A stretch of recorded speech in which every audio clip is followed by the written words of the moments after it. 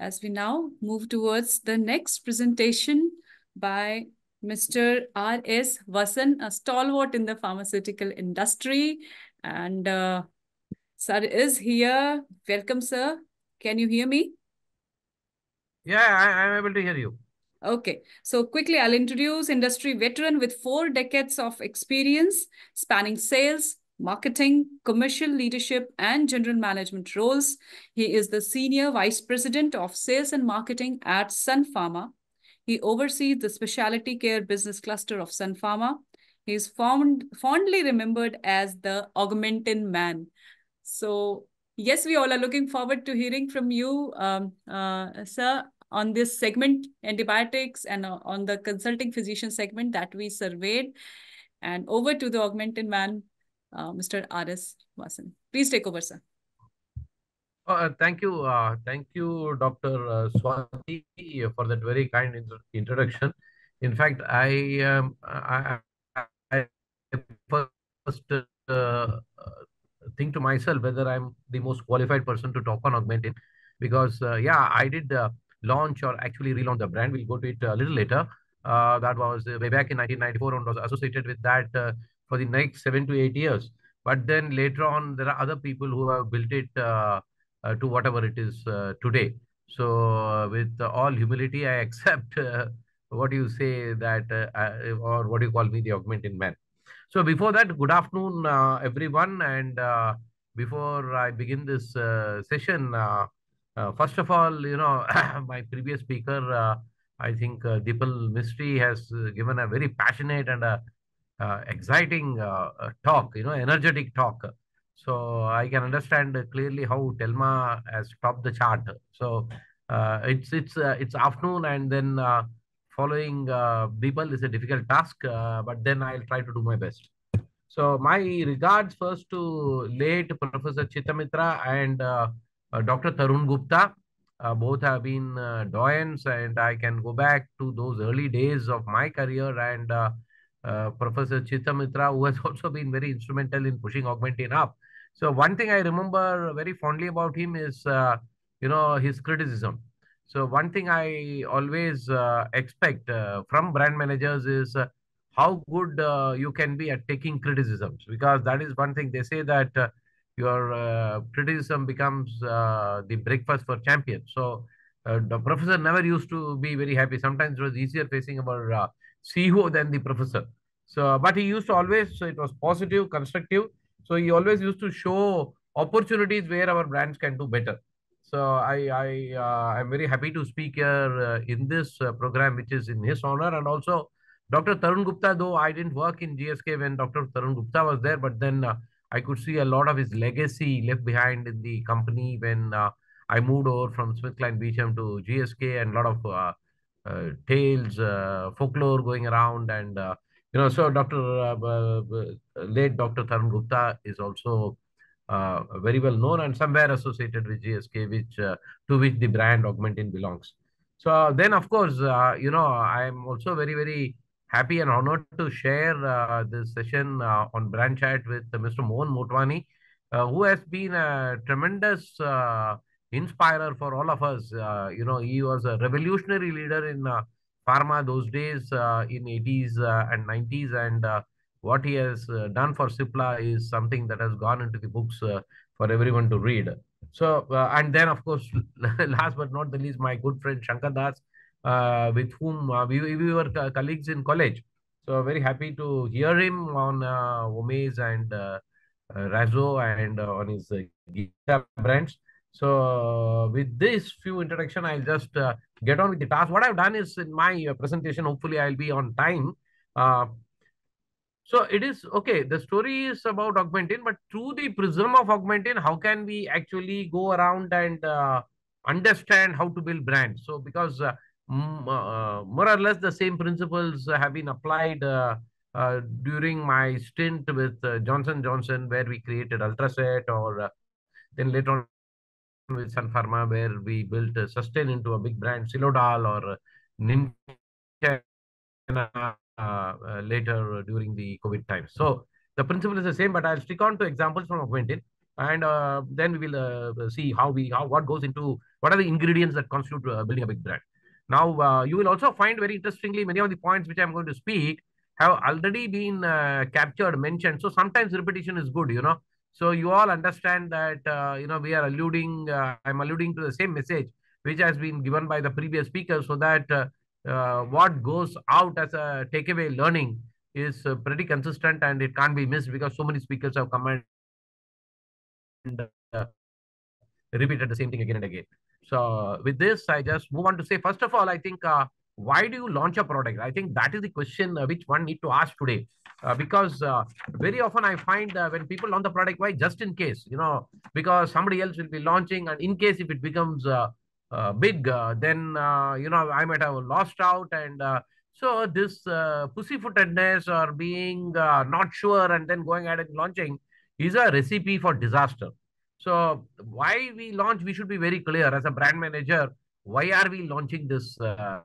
Uh, like means uh, have we understood the opportunity? Have we seen the size of the market? Have we uh, uh, do we know where we are heading? Do we know because how would you results otherwise? How would you results? How do you work out a plan? So we can't just say that. Very often I hear saying that somebody else is launching, somebody else is ready, they are going to come on this date. But how big a target are you going to take? No, I do not know. Means uh, uh, I'm not sure.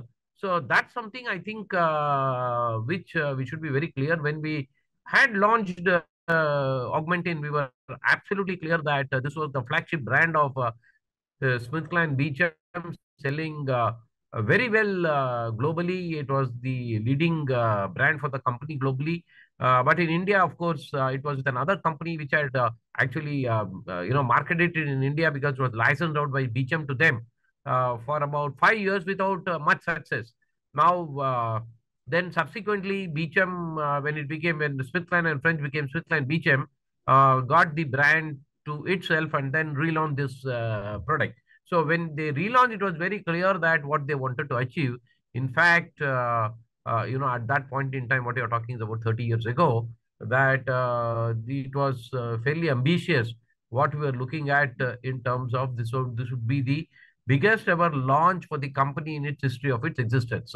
So this has, though this has been not a great success in the hands of an other organization. So that much of clarity has to be there because that is the way your launch is going to be planned. That is the way your communication is going to go through within the team at head office, within uh, other departments, and also to the field force at large. So then, what do you do first? Uh, as we call today, you know, you need to study the pitch. If you have to use a cricketing parlance, you need to study the pitch. So I heard uh, people saying that you know, talk to doctors, go and meet customers. I think that's very important. Again, I'm alluding to the same thing. Go and meet doctors. Go and talk to them. Find out, uh, you know, what they think. Because when you prescribe an antibiotic, I, if I go back then, you know, there were cephalosporins, first generation, second generation, third generation, penicillins in the market. Then there were quinolones. Then there were uh, were yet to come in. You had aminoglycosides. Then, uh, uh, you know, you also had sulbactam uh, in, the market, sulbactam, sulbactam combination. So that was a beta lactamase inhibitor. So, uh, you know, you have so many, but did we really understand uh, uh, why they prescribe what, when do they prescribe a cephalosporin, when do they prescribe a macrolide, when do they prescribe a quinolone? Means uh, I think that understanding was very, very crucial for us. And what made them prescribe? What type of uh, data they had? So then we go on to the customer insights. So when we talk, we, do we talk to the doctor and ask them, why did you choose or what made you choose which brand? Uh, so if they talk about resistance, very often when you talk about antibiotics, you talk about resistance. So when you talk about resistance, do they really understand what is resistance? So resistance uh, is a, yeah, typically when you're when you're, when you're uh, chosen antibiotic uh, fails to work against a certain uh, bacteria which is suspected to be there, uh, then you say, okay, this is resisting, it is not working. But then resistance is also not so simple because resistance is specific to a particular organism against a particular antibiotic. Then there is uh, a level of resistance, what you see in the hospital. Then there's a level of resistance, what you see in the community. Then there is something called, uh, uh, you know, the bacteriological cure, what you achieve versus the clinical cure, what you achieve. And then uh, there is this whole uh, set of doctors called microbiologists who actually, uh, you know, come up with their uh, uh, information to help the practicing physician uh, to indicate what is the resistance and which antibiotic is most likely to work. So there was so much that was happening, you know, there was so much that was happening and how, how good is this information flow, how well it is captured, how authentic it is, and do the phys treating physicians uh, care for uh, what these microbiologists say. So all this, when we dig deep and try to understand, uh, you can find that there were a lot of gaps that one could fill. So when you say you're filling the gap, you are actually trying to add value. So you are trying to get some sort of a meaning into this madness. So many antibiotics being present there, and uh, you know, making the doctor take a very rational and a scientific choice. So opportunity was there to do something. And these are all, again, I'm going back to say, to be studied before even you decide to launch the product. Because here we were taking over a product which had not done that well with uh, another company. So obviously you need to understand why it didn't do well. And uh, then coming to the market insight, market, what companies were talking, what other competitors were speaking. So you find that how are they being promoted? So very often we find that, uh, you know, literature pieces said, yeah, this is for uh, UTI, RTI, GITI, uh, you know, SSTI and all that. So first to begin with, I think uh, these are very pharma lingo, you know, UTI, RTI, uh, GITI and all that. I think whenever I talk to a doctor, he has always said it is bronchiectasis, bronchiectasis or uh, bronchitis or, uh, you know, very, very otitis media. Clearly specify the uh, indication. Don't use abbreviation short form because that is the language they speak. So, uh, so uh, you know, uh, th then, uh, you know, does one antibiotic really work everywhere? So we claim that, uh, you know, this is for uh, head to toe. Does it make sense to call that this is the one which works for head to toe? Can it, can something be good head to toe? And then when you saw those literature of brands being promoted, it is very interesting to see that, uh, you know, the studies. So study you compare and say mine is 95%, competitor is 76%. So, but uh, what is the study, where it was done, which paper it was published, how many uh, patients were there, and were the patient cohort uh, uh, very similar. And I find that what was being promoted was one part for you was from a different study. What you showed against a competition uh, uh, in terms of numbers was from an entirely different study. It was not a direct head-to-head comparison. And uh, sometimes, you know, all sorts of things were being mixed up. Some the the relevant trends in terms of antibiotics were not uh, you know, the equivalent uh, therapeutic strengths were not compared. If you compare a 500 milligram study somewhere with a 250 milligram study for a competitor, of course, it's going to show a different number. But these were just flashed and passed on because uh, I think perhaps the brand managers felt that the, uh, the field guy should get something very good and strong in his hand so he can show it to the doctor. So on the receiving end, the doctors were just seeing a chart where whoever comes and uh, promotes, he was just showing his bar was the longest versus the competition. The next guy would come in to show that his bar was longer. And, uh, you know, he did, he really didn't care. He thought that uh, they are doing a job to promote their product. But there was lack of credibility in the information that was being uh, shared. So this again threw some opportunity. Then knowing who is your customer.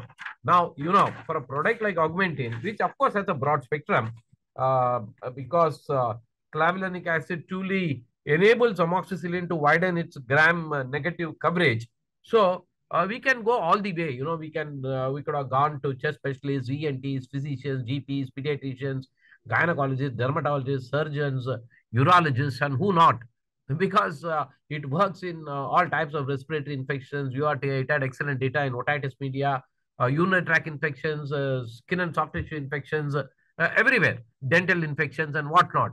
But then, you know, what constitutes your market? Now, this is very interesting. So uh, there is this uh, great temptation, you know, uh, to go and promote it everywhere because, you know, that's how maybe others are doing.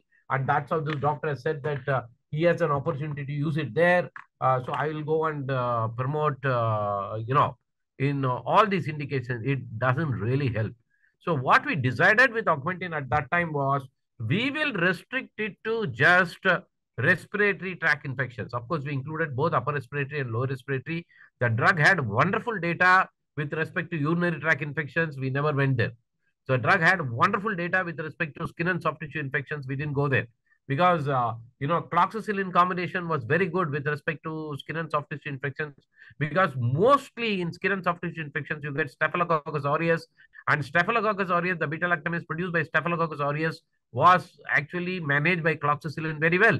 So compared to the price of an ampiclox augmentin was uh, seriously expensive maybe seven eight times more. So why do you really go and uh, butt your head there? Or uh, you know go and talk against uh, quinolones in UTI because in India, one interesting thing, actually, when Augmentin was launched elsewhere, it was actually the logical successor to amoxicillin. You had ampicillin, you had amoxicillin, and then you had Augmentin. So it became relatively little easy.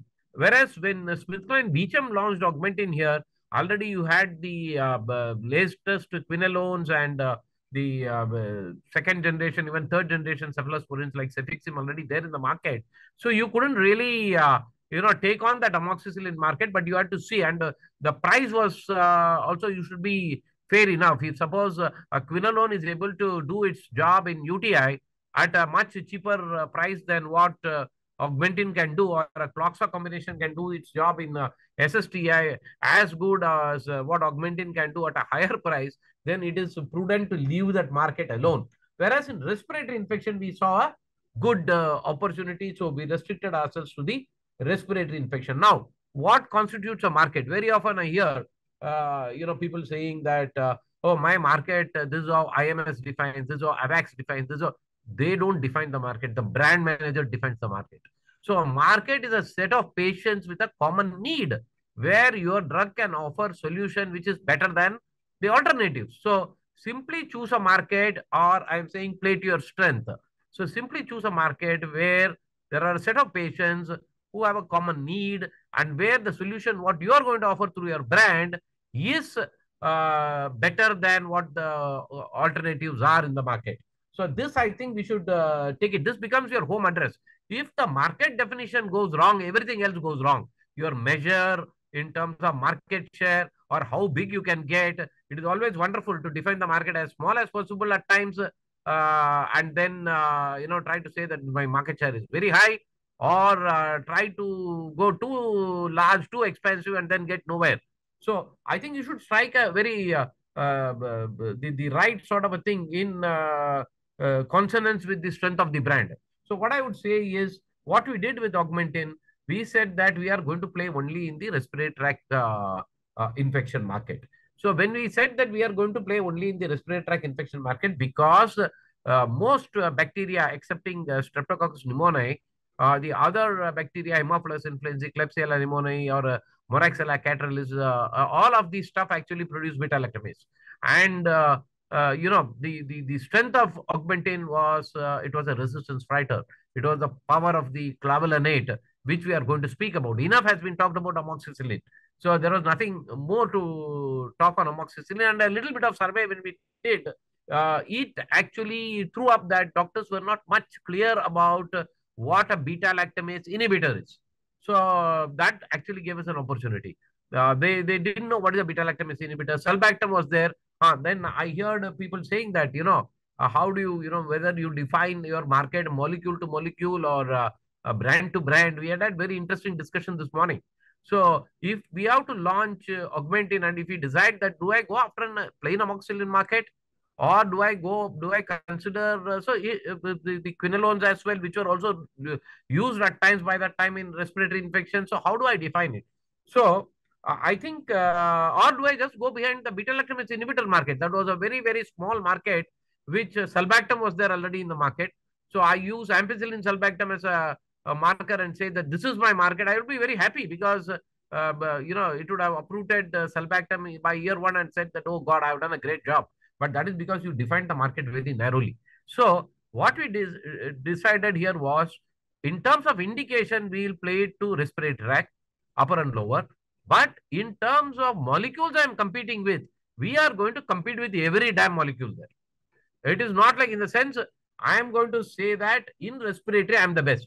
So if they are going to write, uh, say, uh, uh, you know, whether it be quinolones, whether it be macrolides, whether it be uh, you know, any other uh, antibiotic what they are using, uh, then you can ask that, okay, how do you justify? Because still, you know, an erythromycin at that time or even an azithromycin might have been uh, slightly cheaper because Azithro was launched around the same time, but it cut its price. Roxithro was there. But then to say that, look, your children can't wait for relief. This offers first time success because the resistance fighter. If your scientific story is very strong, I think uh, you can still win. You keep it there, then let the doctor decide. In the sense, uh, I am saying mine is better technically than uh, all the other uh, uh, antibiotics in the area of respiratory tract infection. So we clearly mark out respiratory tract infections, otitis media as our market, not the other parts of the uh, body. But in this area, uh, because of its better penetration, better availability, and the organisms involved there, where augmentin gives you better uh, uh, sort of uh, advantage, there I am saying that it is better than every other drug. So with once you have this understanding, you get the vision. What how uh, how big you can take this because this is very important. You can't just uh, think like okay, let me launch and see and all that. So you know, I'll quickly to to to drive home this point why it is so important. I'll just uh, uh, give you a quick example. See, you know, you have a. Uh, it is often said that uh, a cub and a kitten looks the same when it was very young. So if you start uh, feeding the cub like a kitten, no, what you'll give to the kitten, you it, it won't uh, the cub wouldn't grow to become a, a, tiger. It will be a cat. So unless you have a vision, uh, we were very very clear that this is going to take the world by storm. It is going to get uh, uh, you know uh, to become the leading antibiotic in India as well because we understand from the market what is the level of understanding of bacterial resistance, how much it is talked about uh, in a very scientific, rational manner. What is the role of microbiologists today uh, in the uh, uh, uh, treatment area? Do they give good advice? Do they feel cared about? And can we do something there to get the picture right for doctors, add value? So if you know, if you know, I, oh, I can add a lot of value along the chain and I am going to change, revolutionize the way this treatment is happening then you know you can you can set a longer vision. You can set a bigger vision. So it's very important because your vision decides how are you going to resource the product. I think this i won't take uh, much time whom and what to leave out. Yeah very clearly somebody else is also saying i think shankar das was saying that uh, you know what are you going to leave out? So you have to be very clear. Positioning happens when you leave out something. He was quoting professor chitta mitra i think. Very true. So you know you can't be the best to everyone. That temptation of saying that uh, you know, I am good at everything and I am efficacious, I am safest, I am uh, uh, uh, very convenient to use and all this stuff. This is, I think, is crazy. So we clearly left out, as I told you, the urologists, the gynecologists, the dermatologists, they are not in our picture. Initially, if you ask me, we just talked to 25 doctors in a list of 225 doctors, uh, what the each of the uh, MRs carried. So just to 25 doctors, of course, you, you have to throw back uh, by 30 years because at that time, uh, uh, you know, uh, this was an expensive product. We launched it at around uh, the 375 Augmentin was launched at around uh, 27 rupees 50 paisa uh, per uh, uh, per tablet, which was costing around around 82 rupees uh, uh, per day then. So, and we were very clear that we are not going to get into UTI and SSTI, though there were very credible uh, uh, data to back. So this is very important to in terms of positioning. So I, as I told you, play to your strength, play on the uh, home pitch. Uh, uh, you know, you create. Uh, you know, they say these days. Uh, again, you create designer wickets. You know, you create designer wickets and play on the home pitch. Uh, one can't stand for all, and you know, you can't mean everything to everyone. Though that that greed one has to control. Play to the brand's biggest scientific strength. As I told you, is a resistance fighter, very clear uh, and you say resistance fighter in a better way when you say, of course, there was some controversy. I should uh, uh, concede that to use first time success, but in a way, we were trying to convey that there was no need to try something else. And then, uh, if resistant, go back to augmentin. But then, uh, because it's a resistance fighter, you can push it uh, up so that your children can't, your children needn't wait for relief. I still remember in otitis media, the slogan was for a long time, the children can't wait for relief. You know, means uh, it, it, it, it, it made an appeal. So it's another way of saying that use it early. Again, this also, I, I think I'm just alluding to what uh, my previous speakers have said, consistent messaging. Keep the message the same. Because very often you find that first, uh, you know, uh, the best thing is to don't change the product manager too often.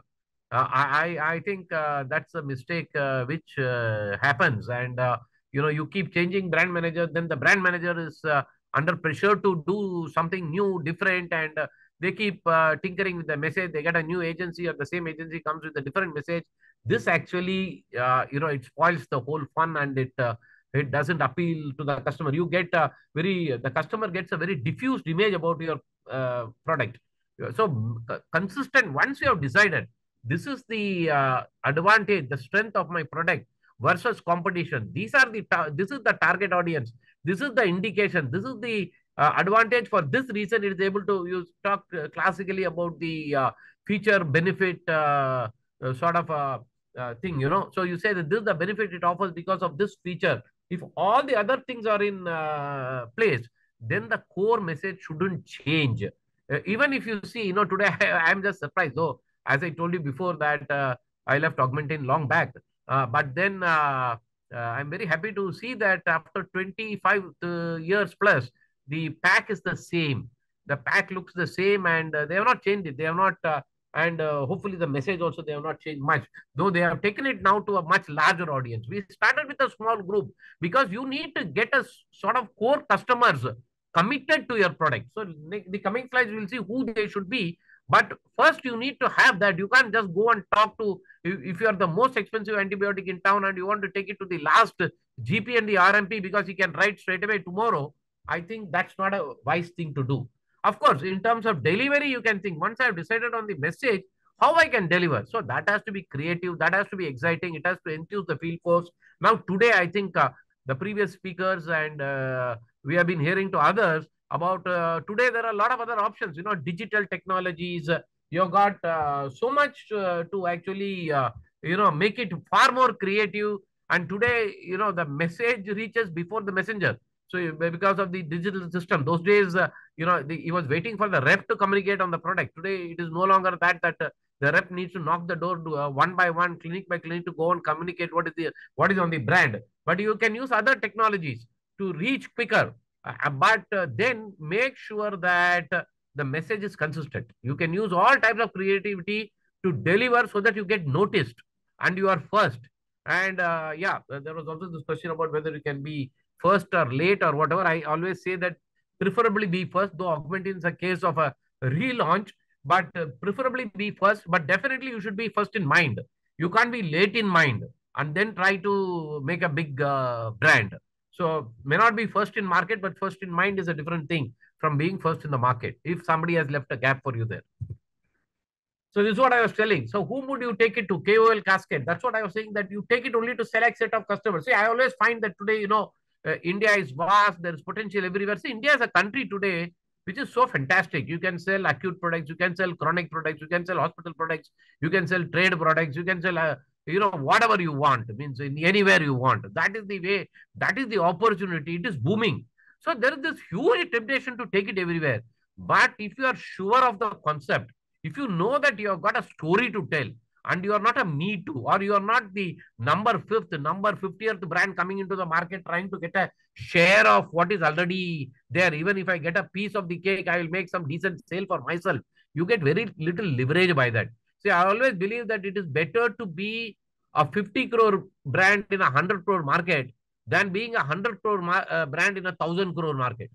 If you are a 100 crore brand in a 1000 crore market, when already there's another brand at 200 crores, the leverage you what you have in the market to dictate the market is very minimal. You you can't somebody else is dictating, somebody else is calling the shot. But even if you are a 50 crore brand in a 100 crore market and you are the brand leader because you have got 50% of the market, then you can still dictate that market. You can grow that market. That market will behave to your tunes. So if you have to do that, then it is very important to get your AIIMS and JIPMER and PGI doctors rallying behind you. Don't have this temptation to take it to the last GP or somewhere. All doctors are not equal in terms of, they may generate the same value in terms of prescriptions. Uh, that too is debatable, but assuming uh, that, okay, all chest physicians can say, generate the same value in terms of prescriptions, but their weighted opinion is different. When I get a prescription out of AIIMS today, the value it generates is far higher or the followership it generates is far higher than maybe what I get from somewhere else in an interior town in uh, some remote part of the country. So you have to get your big ticket right. your top doctors in the country in that specialty has to endorse your brand. It takes hard work, it takes time. They are skeptical, they will drill you. But I think as a brand manager at head office, we should own up because the field will need support. They can't crack everyone. You need to be there and try to get there. So this is something which I think went off very well with uh, the launch of Augmentin and aim for successful outcomes and not superlative sales number. This is very interesting. See, there are two situations. You can get 20 prescriptions and you can say that, okay, 10 of those patients had excellent relief. Okay.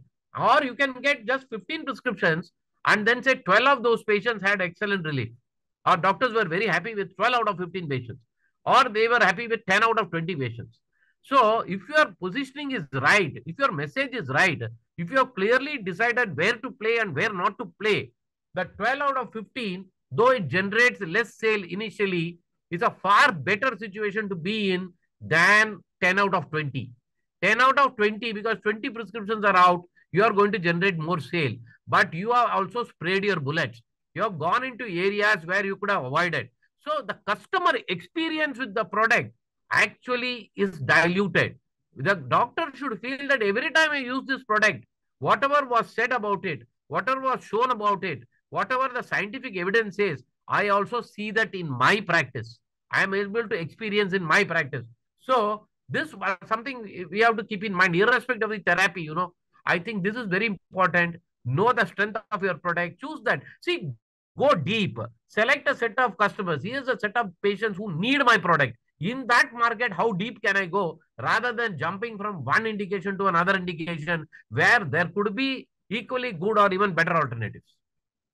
Uh, Vasan sir, uh, yeah. just, just a heads up, sir, over five minutes left. And after that, we will have question answers for you. Yeah. So uh, we can, uh, if we can quickly. Yeah, yeah. Run the presentation. So uh, now uh, the eight cycle pen, what I say is, you know, it's, it's a, you're a director of a story, you know, you are, you are, you are just, uh, you should have the script ready. You can't live from quarter to quarter. So when we had Augmentin, what we did was we had all our line extensions, what we are going to come up with, the Duo, whether it was the 625 Duo to replace the 375 TID. 375 TID was the largest selling SKU at that time. So then the 1 gram Duo replacing the 625 TID and the DRSP story or the 457 syrup, whatever it may be. Everything was planned. So we had at any point in time, if you want to build a brand, a good brand manager should have his plan for next eight cycles, everything. So that actually helps in keeping control over the market. So last a few slides, few tips, just be seen everywhere. You are the there in the front. You should be the guy where people look up to your other department. This big mega brand is not created by one person. It's a team effort. So it's a, a cliche to say that, but uh, the person in front should be seen in uh, from printing, packaging, demand planning, medical, regulatory, uh, you know, wherever it is. So they, they all should reach out to the brand manager concerned to, uh, you know, ask questions or you should be pushing yourself on all fronts. Because as a brand manager, truly speaking, you are getting paid only through your brand. So there are, for everybody else, there is something else to look after as well. Lead the field, don't blame the field, own the field, lead the field, so go there, be there, work with them, be very, very active. So uh, be in the market, try and understand, see where your course correction is important, where your message is going through, where your message is faltering, make those uh, alterations, tweak it, and then help them, help them to get through. So again, uh, you know, what I say is, uh, see, largely in uh, pharma, if you see, if you get your top line right, you get your bottom line right. Huh? So it's not always, uh, I have never seen till now a situation where a great idea has been starved because of want of money. So if you have a great idea, it has always got money. So then how do I, how do I choose a product? I think as I told, uh, you know, once you have seen that there's a clear merit, then be the first. Be the, as I told, be, if not the first in the market, be at least the first in the mind and keep a reasonable price. We have had some very interesting discussion on pricing. I would say India is still a price sensitive market. Don't go uh, way below. That is stupid. Uh, clearly, a brand by itself means that it will it will carry a premium. The difference between a brand and a commodity is commodity can't command a premium. Brand will command a premium. But we have also got enough examples in India where uh, you know outlandish pricing has killed good products. So it should be it's, it's still a largely a private pay market. Insurance is picking up, picking up well, but still it is only for hospitalized patients. So keep a reasonable price and you have to today, somebody was talking about, uh, you know, today it is very different from what it was uh, previously. Yeah, uh, Shankar Das was saying that there are other advantages today uh, compared to the type of doctor list what uh, uh, they had when they launched Omez. But you have to engage the top doctors in a very, very innovative manner.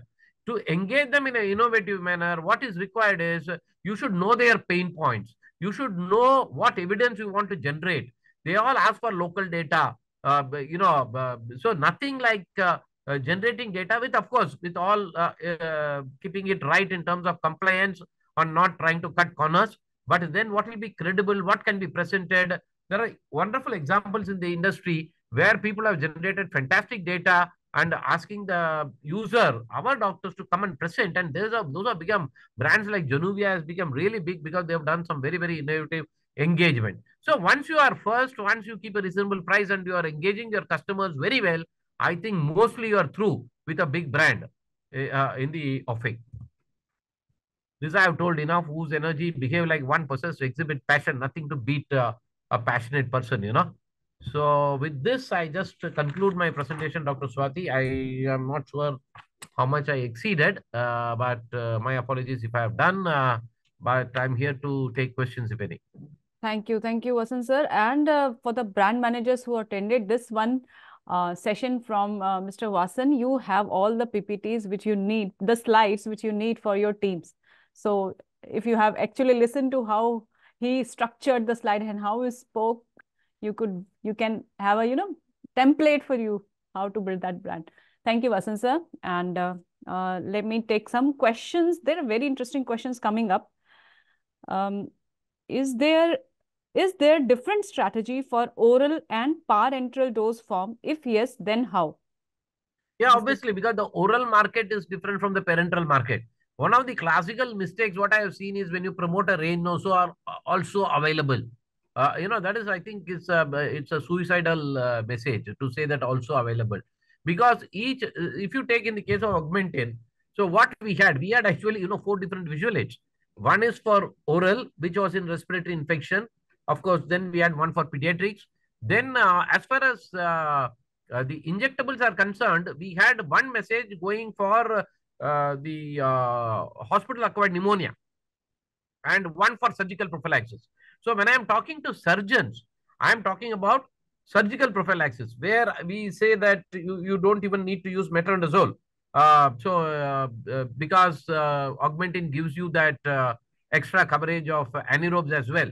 So though though most doctors still prefer to use metronidazole along with Augmentin, but what it, it gave a very powerful message that it can actually even substitute uh, uh, metronidazole in terms of anaerobic coverage. Now, uh, that is very different uh, from, uh, you know, when you talk about, uh, say, respiratory tract infections, your sinusitis or, you know, pharyngitis or lower respiratory like bronchitis, bronchiectasis and all this stuff, or acute exacerbation of chronic bronchitis and all this stuff.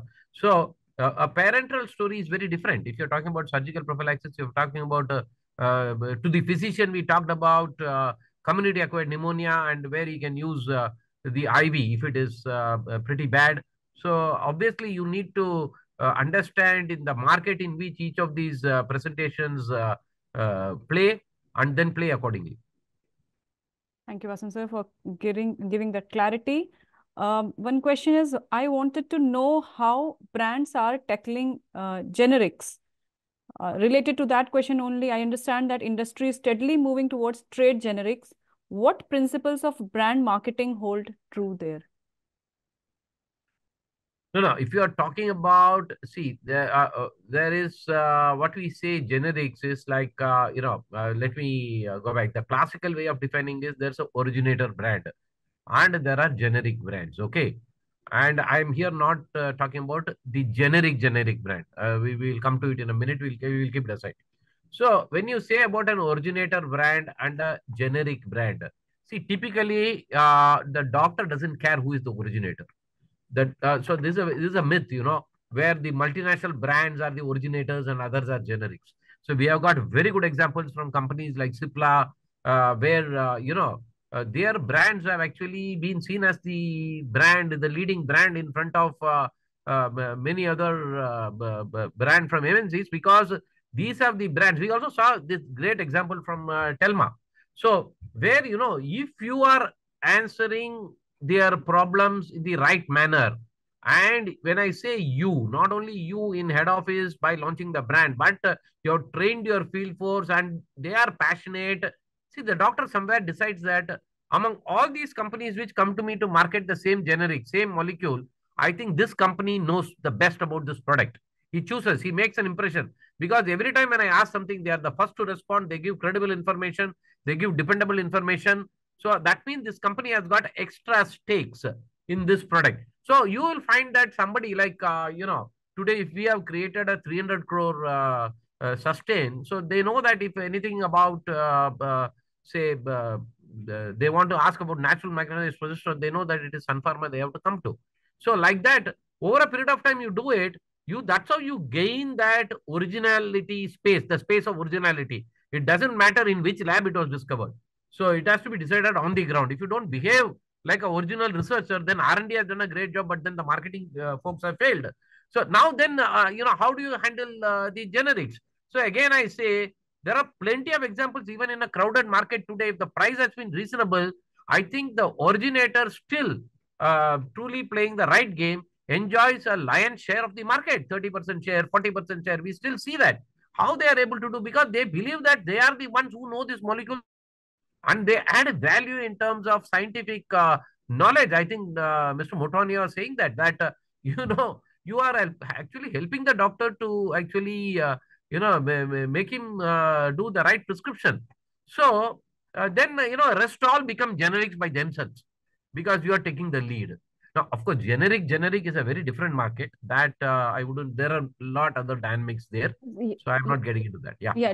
Due to so Vasan sir, thank you so much yeah. for taking us through and answering the questions patiently. Please be there because there are a few questions uh, remaining, which uh, on which if you answer, it will be very very helpful. All the oh great yeah, I'll be there. Are also there.